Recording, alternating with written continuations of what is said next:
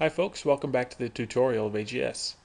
In the last video I showed you a small cutscene that I created for uh, for AGS, the AGS tutorial, and um, it just kind of demonstrated a couple of things that you can do with, with cutscenes. And in this uh, video we'll start with uh, breaking that cutscene down and, and start creating that cutscene. Well the first thing that we want to do with, a, with this cutscene is um, basically create a new room and that room will be specific for that cutscene.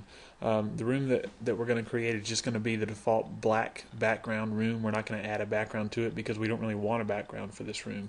So um, scroll on down to where it says rooms.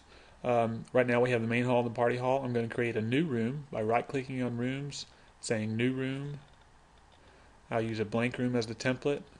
Go ahead and click OK. And it creates a new room for me.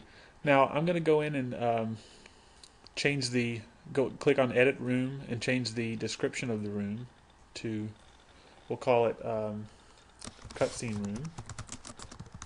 Just as, as, an example you might call this intro, introduction room or intro room or something like that depending on if this might be a, cutscene for your introduction to your game or something like that. Uh, but in this case I'll just call it cutscene room. And everything else we can leave uh, the way it is the um, the background, like I say, is black, is black, and that's really the background that we want. Um, so now the next thing that I want to do is actually start Sammy in this room. Um, right now he starts in the uh, party hall. I'm sorry, in the main hall, but we want to start him in the the cutscene room. So if I go up to uh, my characters and I go to Sammy, double click on Sammy, and then one of Sammy's properties in the lower right corner here is um, starting room property. Starting room is set to 1, which is again the uh, main hall. I'm going to change this to 3, which is the new room that we created, is the, uh, the intro room. So that should be all that we need to do to set up the, the introduction room or the cutscene room um, for now. Um, so now what I wanted to do is kind of go over what are called text overlays within AGS. Um, basically a text overlay, all that is, is that's just a way to display text to the screen. Now we've seen text on the screen before um, when a character talks, for example, we see text that appears above the character's head. Well, all that text is is that's really a text overlay. It's just that the say function for a character automatically just creates that text overlay for you, and it automatically displays that above the character's head when you call that that say function on a character. Um, so really, that's what we want to do, but we don't want to associate the text overlay. In this case, we don't want to associate it with a character talking. We just want to display text to the screen. Um, and the way that we do that is we want to create uh, an event for this room.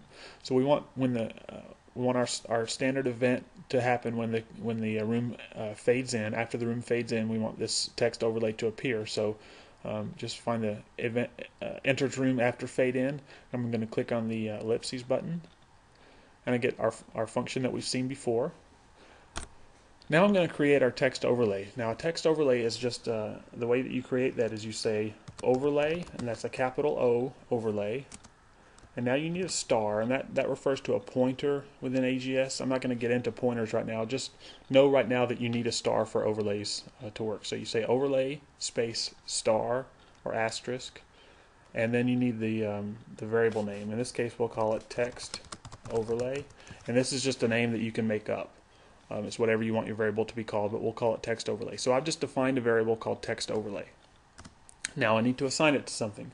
So what I do is I the way I would do that is I would say text overlay, which is the name of our variable, and I say equals, and now I can say overlay, again capital O overlay, dot.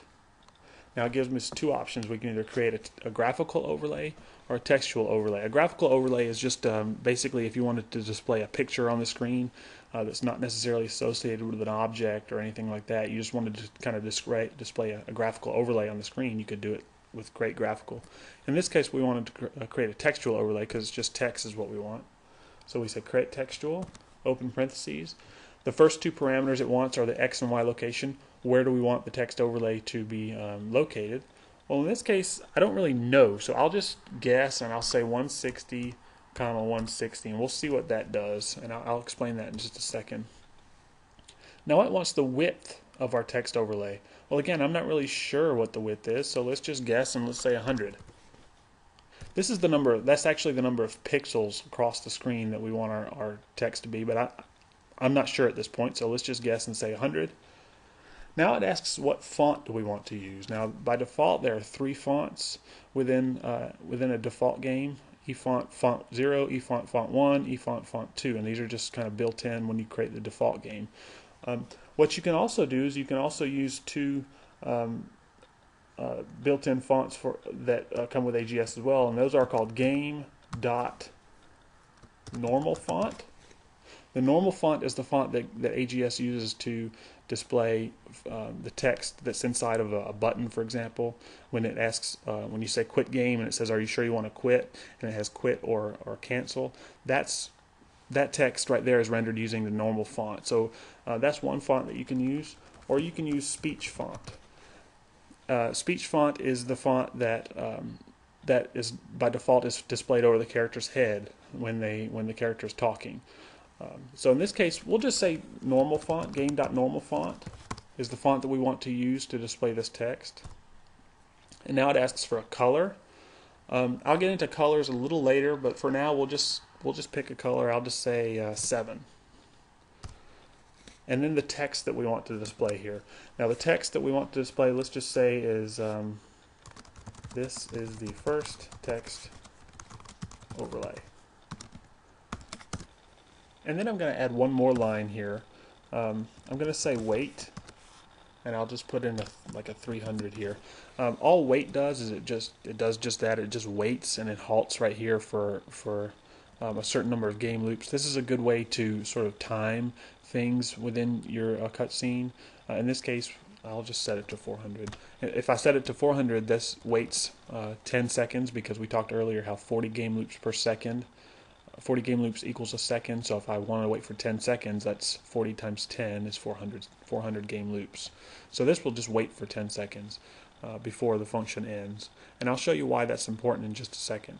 If I go ahead and run the game now, okay, we see Sammy, and then we see this text overlay. This is the text overlay that we created. It just says this is the first text overlay. Now notice a couple of things. Notice the, the line wraps and then notice it just disappeared. And the reason that it just disappeared is because our 10 seconds was up. Um, I'm going to talk about that first. So what happened is our 10 seconds was up. It waited for 10 seconds and it stopped right here. Now once the 10 seconds was up, it went to this next line here and then it finished the function. Now after it, after the function finished, our text overlay disappeared. And the reason for that is because this text overlay we created inside this function. So this text overlay only exists within this function. Once the function exits, then our text overlay goes away because our text overlay basically doesn't exist anymore. If we want that text overlay to continue to exist outside of the function, well then we need to create the text overlay outside the function. We need to declare it outside the function. So in other words, I need to take this and just do a cut and a paste. And if I paste it up here outside of the function, its scope is it's called its scope that scope of that variable now is exists globally within the room. So that it's not it's not contained within this function anymore. So this this text overlay will continue to exist even outside of this function. So now I can even take this wait out because this wait isn't necessary at this point. and if I run it now now the text overlay stays there and it will stay there forever as long as this room stays there because um, because again this text overlay function now exists outside of the scope of that function it's a little confusing, um, but just think about it like this. If I create the, the text overlay, if I declare the text overlay within the function, then that uh, that text overlay only exists within that function, and then after that function exits, that text overlay will then cease to exist and will be will be uh, removed from the screen. But if I create the text overlay outside of any function here, just in the regular room script, then that means that that text overlay will exist even after that function has has uh, has gone away. So um, the next thing that I wanted to talk about is when I run the game, you see that okay the the text overlay is displayed, but it's wrapped. It's wrapped from one line to another, and that's because of the width of the uh, text overlay. I set the width, remember, to 100 uh, when I when it asked me for the width uh, of the text overlay. Now that wasn't really the right variable, the right uh, width, apparently, because it it was too small. Um, 100 pixels was actually too small to display all of the text, so that text wrapped to the next line. So I can play with this um, this variable here, this was this was the width parameter. I could play with that if I wanted to, um, and bump that up until until we got a size that we like. For example, if I said 200 instead of 100 and then ran it, aha, now it doesn't wrap anymore because now we've given it enough width to accommodate the length of the string. So this is the first text overlay now appears uh, as an entire, uh, as one line, which is really more like what we want. Um, this is going to actually span a couple of videos. I'm running out of time on this video, but I'm going to get into the next video. I'm going to get into this isn't really centered on the screen, so we really want to be able to center the text overlay onto the screen and put it put it in a more centered location into the screen, so it's sort of in the middle of the screen. So that's what we'll get into in the next video. See you then, guys.